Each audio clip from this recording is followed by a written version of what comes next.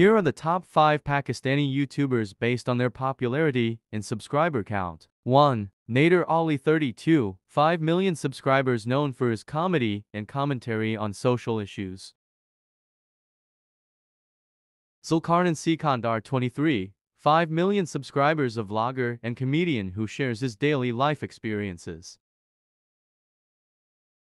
Khaby Lame 22, 5 million subscribers, a Pakistani-born Italian YouTuber known for his humorous reaction videos.